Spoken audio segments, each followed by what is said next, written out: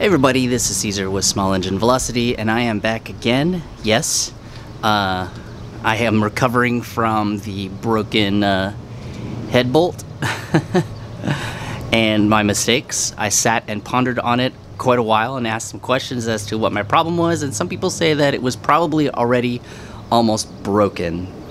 Because um, when I was twisting it and it wasn't feeling tight, it's because it was already binded inside and ready to break. But still, in the end, um, it's something that I did, I could have detected. Anyways, I went ahead and ordered um, four. Uh, it gives you the option to order just one, but it was a different brand and it was stage six, so I decided to go ahead and buy four so they're all the same strength and the same type in there so that uh, at least I know that they're all good because who knows, they, they, the other ones could be about to go bad also. So it's kind of a good thing that I put new ones in. Uh, what we're going to go ahead and do today is we're going to go take the uh, CVT apart on the Project Zuma, see what it looks like on the inside, uh, see the condition of the belt, and see if I need to buy a variator for this particular uh, project bike. Because um, I do want to do a little bit of tuning into it, so I need to make sure that uh, I have what's together to be able to be able to do what I want to do and give the person, whoever wins the raffle, to get the fastest scooter possible. Anyways, uh, let's go ahead and get that going, but before, let's roll the intro.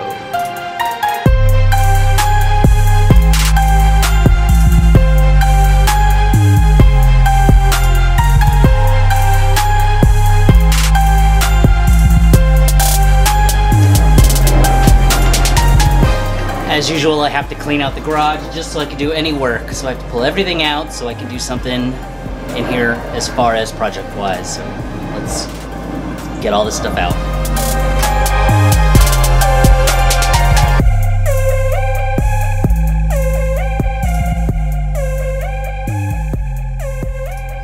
Okay, well here's the uh, the CVT side of it. Uh, the motor is still the exact same way I left it last time we were talking about this project bike. Remember, parts are ordered. Uh, I'm to go ahead and take this CVT off, see what's on the inside, see what the, the previous owner has left me to use. More like did and didn't complete. But anyways, I'm to go ahead and work on that and see if we got any uh, gifts in here.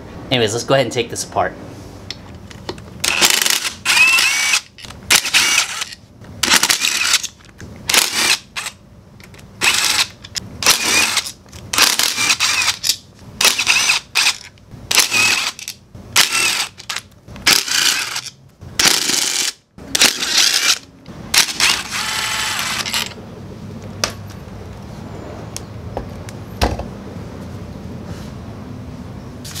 Keep forgetting to put gloves on. I got some of these dish gloves. Hopefully they'll at least keep grease off my hand for a little bit. Now, it looks like there's somewhat gasket seal on the edge. It's green all around here, so let me make sure I, oh, I took all the bolts off. Yeah. It's all off. I'm gonna have to give it a little tap.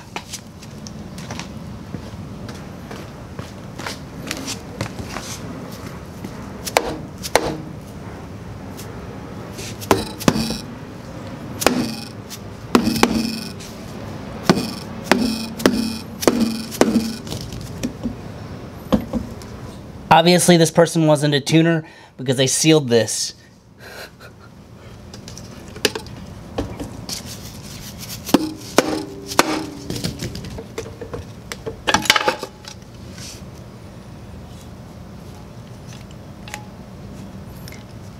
I had no idea that there was even a gasket for this. So at first glance you can see this clutch is overheated and it seems smaller. Uh, the belt seems okay so far, but let's go ahead and take this off and see what all this looks like underneath here.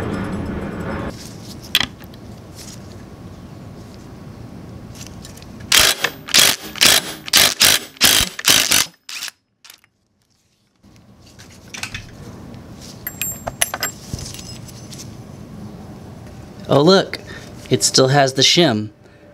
It's the first time I've ever had one that had the shim still.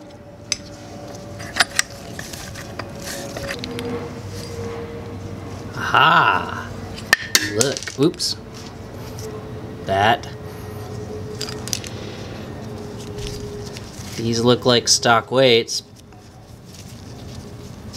But look. I don't know I can focus on that. Nasty flat spots. Nasty flat spot. Nasty. Anyways, as far as I can tell, this is stock. So, let's tear this all out.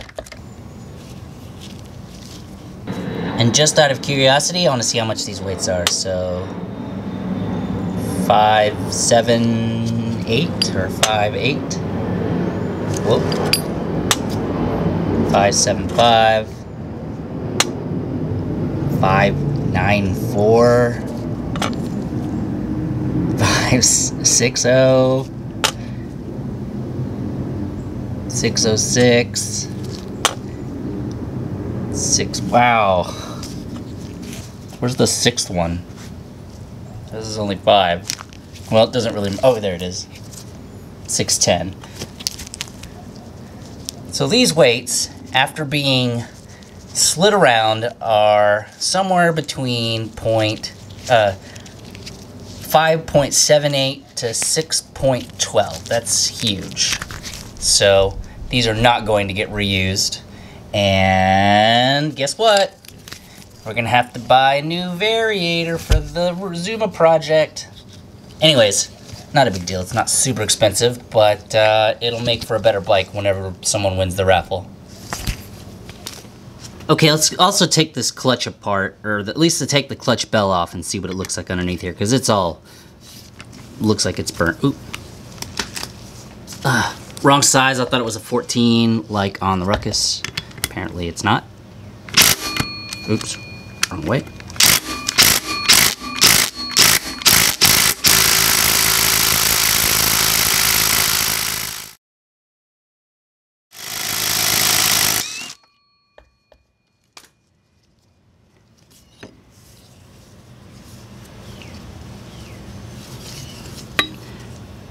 For sure it's glazed on the inside.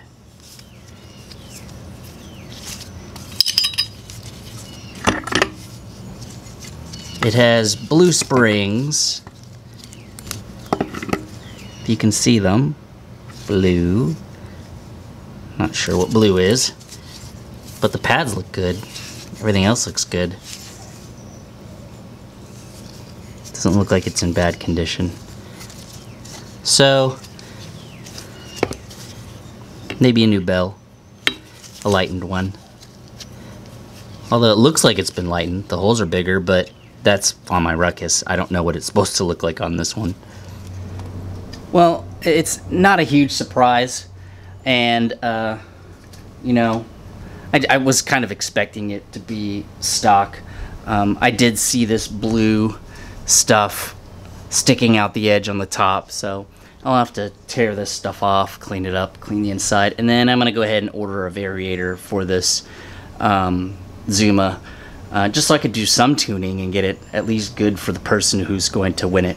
But anyways, it's good that I record all this stuff because whoever uh, wins this will have a very good detailed history of as to what's the status of this uh, Zuma uh, and if they want to keep it and do more mods, they have the room to look it back. Or if they want to sell it, they have a, a, a good history to show someone, hey, this is that Zuma. Anyways, uh, thank you for watching. And hopefully, uh, when I get those parts in, we can uh, finish fixing the. Uh, we can we can finish fixing this. Anyways, talk to y'all later. See you in the next video. Don't forget to like and subscribe. Don't forget to share and I will see you next time.